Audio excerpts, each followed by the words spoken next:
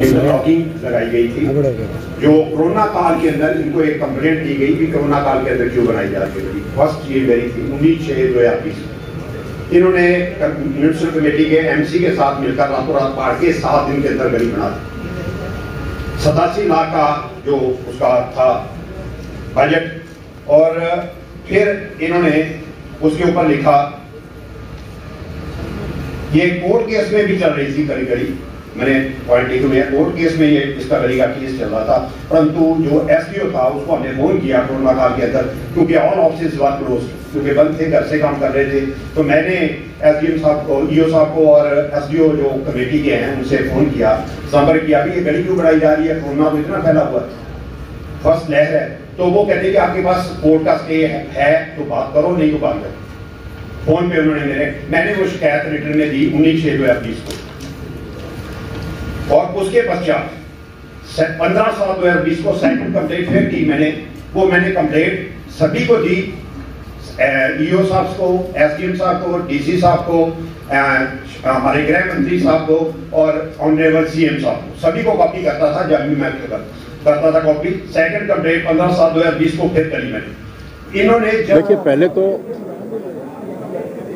आप सब लोग चुप हो जाएँ तो बात बनेगी।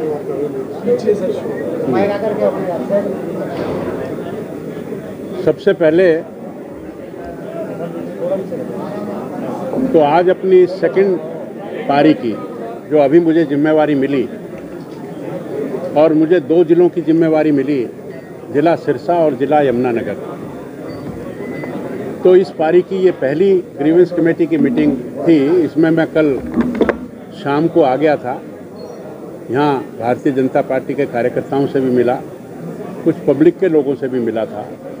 आज सुबह भी मैं कुछ पब्लिक के लोगों से भी मिला और जो लोग मेरे पास आए, मैं उनसे लगभग मिला।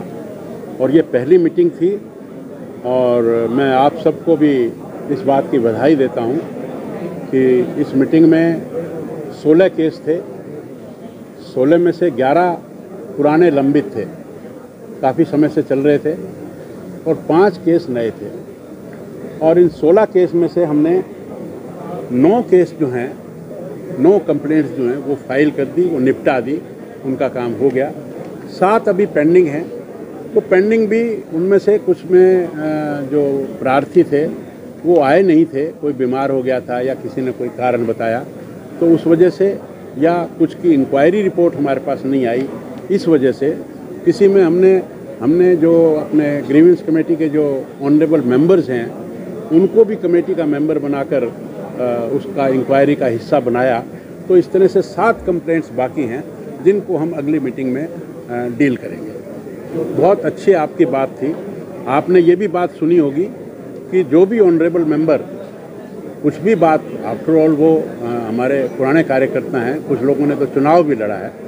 उन लोगों ने अपने हल्के की समस्या उठाए उनका जन्म सिद्ध अधिकार भी है और अधिकारियों को भी ये निर्देश किए, दिए गए हैं कि वो डायरेक्ट उनकी आवाज़ सुनकर उस पर त्वरित रूप से कार्य करें। तो मैं ऐसा उम्मीद भी करता हूँ कि हम सब परिवार के लोग हैं, आप भी हमारे परिवार के लोग हैं और आप भी अगर विजिलेंट नहीं होंगे तो हमारा काम नहीं चलेगा। अब आज की जो पूरी कमेटी की जो भी अच्छी बुरी बातें, वो सब आपको पब्लिक को दिखानी चाहिए, बताना चाहिए, ये आपका राइट भी है और आपका हक भी है और आपका दायित्व भी है ये।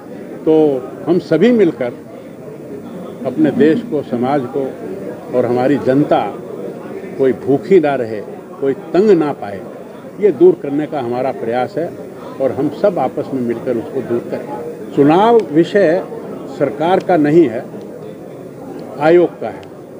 आयोग जब चाहे चुनाव करवा सकता है। भारतीय जनता पार्टी के नाते मैं ये कह सकता हूँ क्योंकि मैं भारतीय जनता पार्टी का भी आ, मेंबर हूँ। भारतीय जनता पार्टी की तैयारी पूरी है। चुनाव आयोग जब भी चुनाव करवाएगा तो पार्टी चुनाव लड़ेगी। आज कंगन को आरसी क्या? आप सब लोग यहाँ थे। मैंने तो चार पाँच दफ़ा कहा। देखिए तरीका होता है। पहले जो 16 कंप्लेंट्स थी उनमें अगर कोई आएगा उसको नहीं आने दिया जाएगा। एक ऑनरेबल मेंबर ने भी बीच में बोलने की कोशिश की तो हमने उसको बैठा दिया। जब 16 कंप्लेंट्स पूरी हो गई तो ऑनरेबल मेंबर्स को हमने कहा कि आप कोई बात कहना चाहते हैं तो करिए। उनके करने के बाद फिर हमने कहा कि कोई भी आ सकता है। तो जितने भी लोग आए, हमने सबको सुना, उसमें ये तो प्रश्न ही कहीं नहीं उठता कि हमने किसी को नहीं आने दिया। नहीं नहीं, ऐसी कोई बात नहीं, कोई भी आ सकता है। लेकिन व्यवस्था भी मेंटेन रखना ज़रूरी है। जो। ये ग्रीवेंस कमेटी है it is meant for the complaints which are to be registered by honourable deputy commissioner in the meeting तो एक व्यवस्था के नाते ये कोई एकदम खुला दरबार नहीं है ये।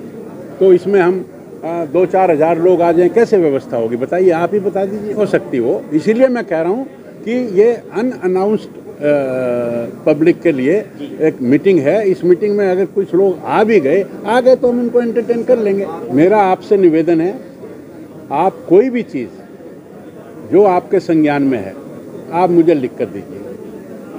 मैं उसकी इंक्वायरी करवाऊँगा और दोषी किसी भी हालत में बख्शा नहीं जाए। दिस इज़ फाइनल ये पॉलिसी पॉलिसी की बात है और ये पंजाब वालों ने तो अब किया है। हमारे आदरणीय और यशस्वी मुख्यमंत्री ने तो दो तीन साल पहले इस पेंशन में कट लगाकर उसको काम कम काम आ, आ, आ, कम करने का काम किया आपको है इस बात की जानकारी? ये तो पॉलिटिकल मुद्दा था। उसने देखा आओ देखा ना ताओ और झूठी प्रशंसा लेने के लिए वो मुद्दा हम तो पहले ही कर चुके हैं। बड़ा प्रेम हो गया आपको उससे। अशोक तंवर पिछले दिनों ज्वाइन किए कई नेता और भी जा रहे हैं। आपको लगता है उससे काफ़ी प्रेम हो गया है? कुछ नहीं हरियाणा में कुछ नहीं है उनको।